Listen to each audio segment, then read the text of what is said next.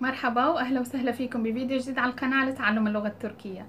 درسنا اليوم مو تابع لأي مستوى درسنا اليوم هو بس إجابة على الأسئلة اللي عم توصلني منكم سواء على التعليقات أو لما بنزل اسألوني شي سؤال على الإنستغرام بتوصلني أسئلة معينة فأنا حبيت أجاوب عنها بفيديو مشان الكل يستفيد من هاي الأسئلة.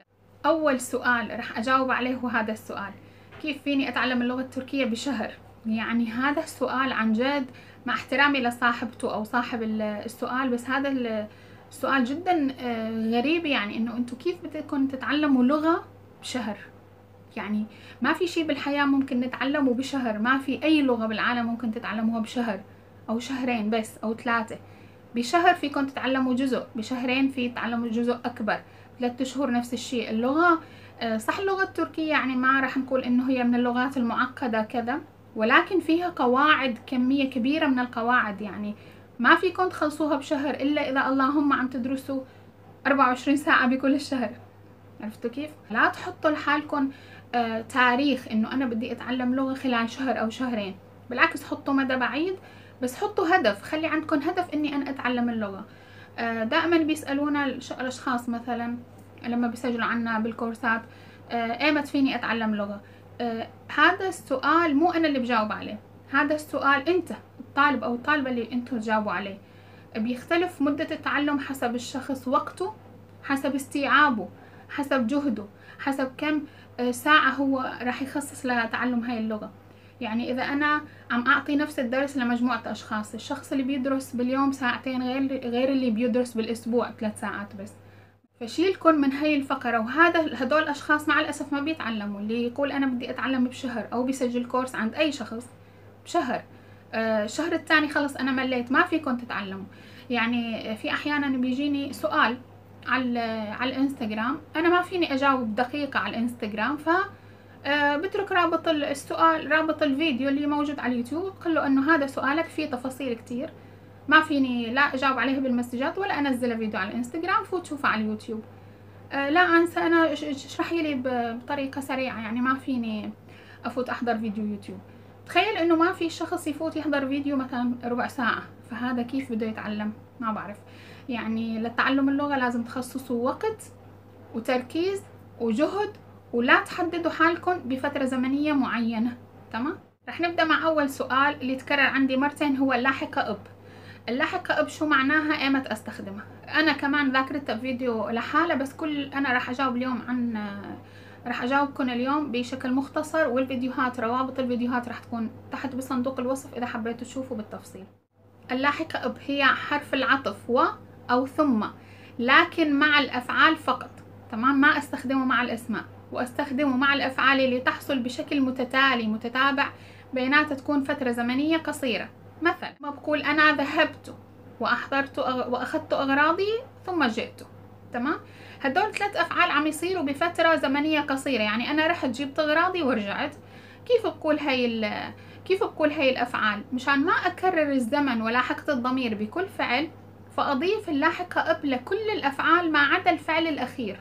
لكل الأفعال ما عدا الفعل الأخير هو اللي يصرف لحتى أنا يبين عندي مين الفاعل وبأي زمن. يعني بقول بان جدب eşyalarımı alıp geldim ben gidip ذهبت يعني قصدي gittim eşyalarımı aldım sonra geldim مشان ما أقول هاي التفصيل كأنه يعني كأنه مبتدئ شخص مبتدئ باللغة. بنقول بان جدب eşyalarımı alıp geldim فمنضيف اللاحقة أب للأفعال المتتالية ما عدا الفعل الأخير. إذا يكون بالجملة عندي بس فعلين فأضيف الفعل الأول أضيف له أب والفعل الثاني هو اللي أصرفه بأي زمن.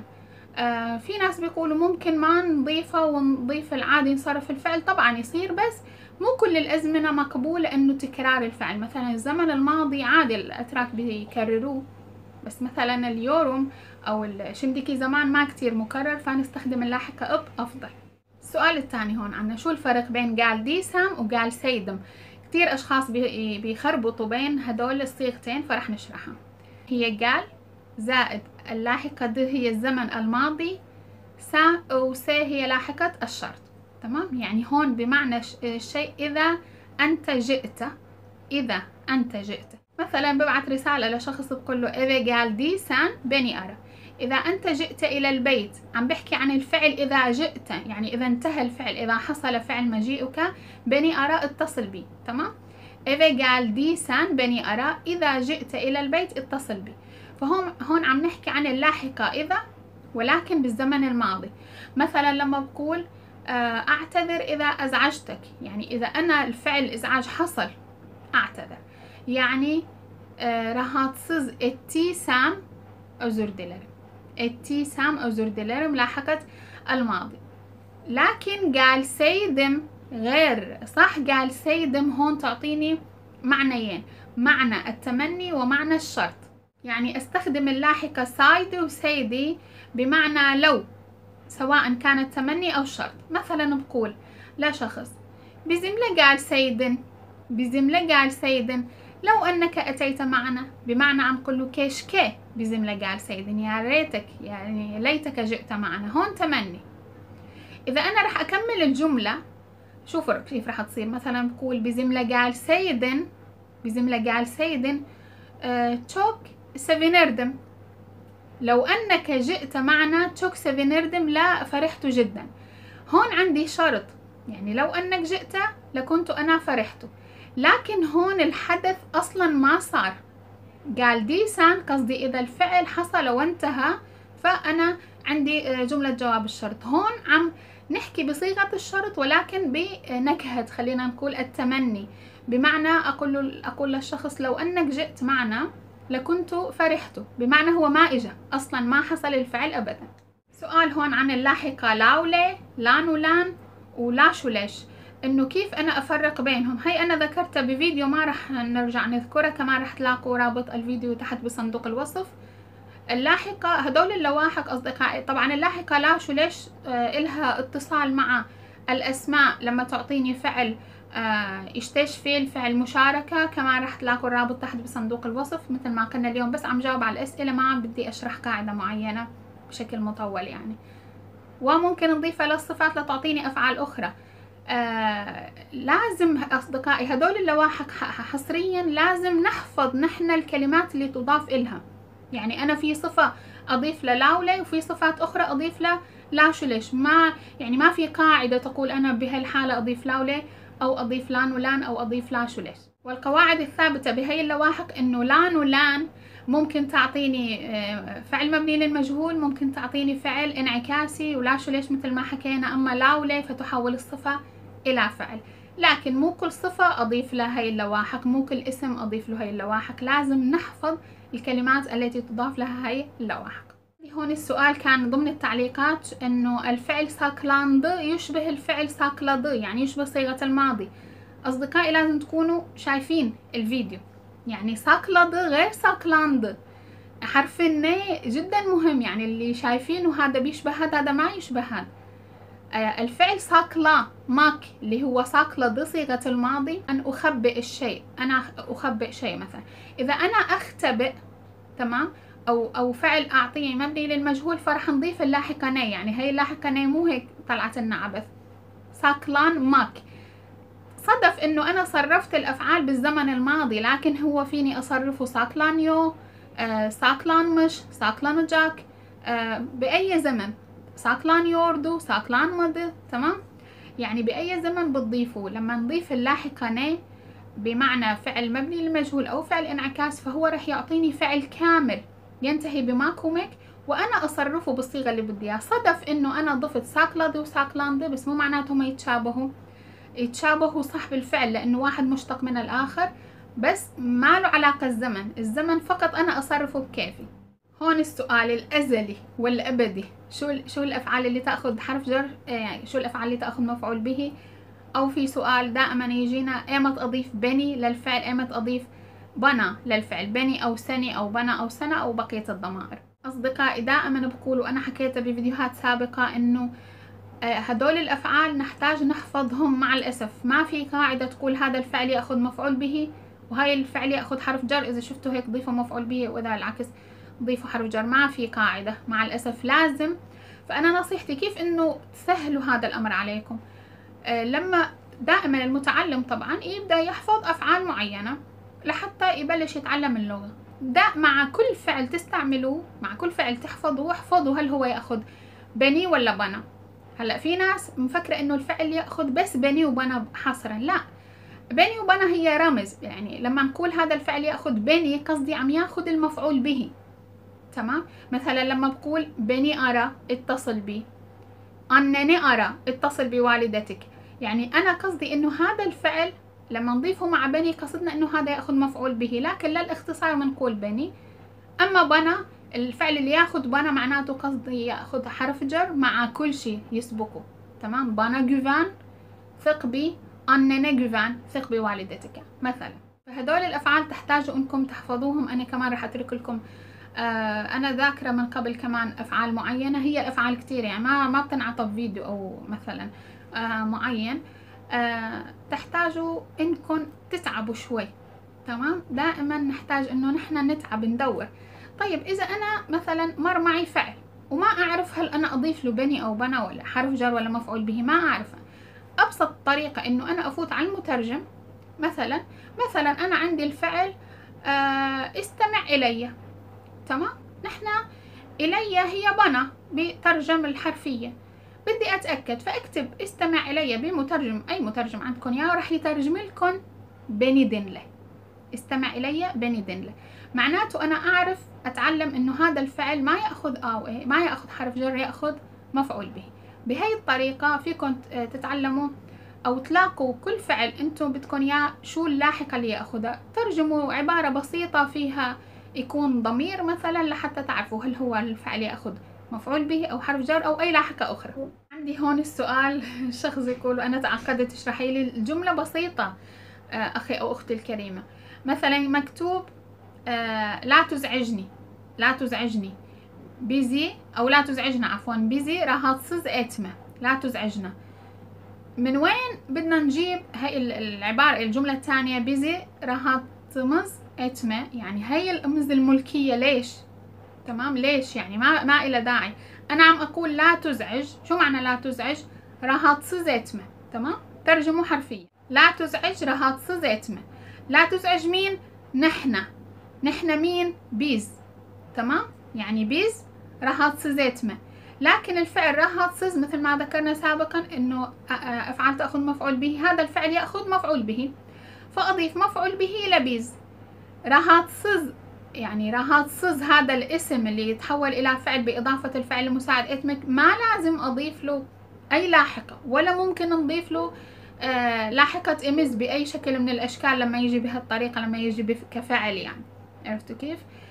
آه أترجم منطقيا أصدقاء لا تزعجنا تعالوا نترجم الفعل لا تزعج بدون ضمائر راح تصز اتمة تمام؟ راح تصز اتمة نحن لا تزعجنا نحن مين نحن بيز. ال i مفعول به ليش؟ للفعل راح تصز وكذا ما في أي إضافة أخرى. كمان عندي هون السؤال على كلمة diye. أنا كلمة diye إلها كذا معنى فأنا منزلته بفيديو يوتيوب قديم. رجعت نزلت فيديو شورت قصير بمعنى لما نستخدم masın mesin diye بمعنى لكي لا. مثلا بقول o bizimle gelmesin diye bir bahane uydurdu اختلق حجة لكي لا يأتي معنا masın mesin diye فلا نستخدم كلمة دية أصدقائي بمعنى لكي. يعني تختلف عن إتشن. مع صيغ الأمر تمام؟ أو مع صيغ الطلب استكبي يعني أيم وأيم ألم وألم. فالسؤال هون كان إذا إحنا بدنا نغير الجملة لكي لا نذهب معه نحن تمام؟ كيف نستخدم لكي لا نذهب لكي لا تذهبوا؟ مثلا بستخدم صيغة الأمر وصيغة استكبي لما بقول لشخص لكي لا تذهب أنت معنا sen gitme diye كذا كذا وأكمل. لكي لا يذهب هو o gitmesin diye لكي لا نذهب نحن biz gitmeyelim diye نستخدم صيغة الطلب. ben gitmeyeyim diye لكي لا أذهب أنا. siz gitmeyin diye لكي لا تذهبوا أنتم. هاي بحالة النفي. بحالة الإثبات بس أشيل النفي. سان بزملة دي لكي لا لكي تذهب عفوا معنا سان بزملة قال دي بولا بولا يابطك يعني عملنا هيك لحتى أنت تيجي معنا. تمام؟ أو بزملة قال سن دي لحتى هو يجي معنا. بان قديم دي لحتى أنا أروح بيز جيدليم دي لحتى نحن نروح فنستخدمها مع صيغة الأمر أو صيغة استكبي إذا كان المعلومة مخربطة شوي. روحوا شوفوا الفيديو تبع دي بالتفصيل لحتى تفهموه وارجعوا اعملوا عنها جمل. عندي ملاحظة أخيرة ما راح أذكر أكثر من هاي الأسئلة بكفي فينا نعمل فيديو. إذا استفدتوا أنتم من هاي الفقرة فينا نرجع نعمل دائما نجمع الأسئلة تبعتكم. طبعا في كتير أسئلة عن جد بس حسيت هدول ممكن الكل يستفيد منها. أحيانا تجي أسئلة ما يعني هيك أسئلة تفاصيل إنه كلمة أو كذا فما يحتاج نحن نعمل له فيديو. فالملاحظة اللي عندي إنه لما أنا كيف بدي أتقن اللغة التركية؟ تمام؟ أنا كيف بدي آه، أطبق كيف بدي أحكي بالشيء اللي أنا بعرفه قواعديا؟ طبعا آه، غلط إنه أنا أتعلم بس قواعد على طول الخط وبعدين أبدأ محادثة أو آجي أتعلم محادثة بدون قواعد. الاثنين غلط.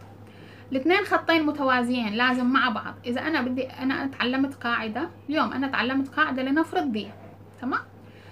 أجي أعمل ألف جملة عن كلمة دي. هي أنا عم بحكي عن حالي أنا هيك تعلمت وعم علم الطلاب المعنى. كلمة دي نعمل عنها جمل جمل جمل جمل. شغلوا عقلكم. في ناس عندهم الإبداع يعني إنه صفر.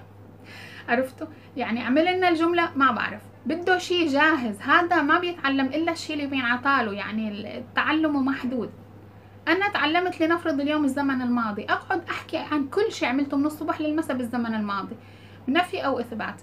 تمام؟ وأحاول أسأل وأحاول كل... أحاول الف قصص أحاول أعمل شغلات. مثلا أنتم شايفين الفيديوهات اللي بنزلها كمحادثة أو كنصوص هي كلها أنا بكتبها. يعني أنا ما بجيبها من مكان جاهزة وبترجمها وبعطيكم إياها. عرفتوا كيف؟ فهذا شيء ساعدني. إنه أنا أي مثلا ونص على فكرة في كتير نصوص موجودة. وفي كتير نصوص بعطيها لطلابي بالكورسات الخاصة. كورسات المحادثة هي أشياء صايرة معي أنا يعني مواقف. أنا صار لي هون راح يصير عشر سنين فصاير معي ألف موقف. ففعلا تستاهل إنه تنعمل كحكاية أو كمحادثة ونعطيها للطلاب لأنه من واقع الحياة. عرفتوا كيف؟ كلها بتكون من الحياة اليومية من التجارب اللي نحن عشناها. فأنا هدول التجارب أنا حولتها لدروس لشيء لشيء عم يفيد غيري. عرفتوا كيف؟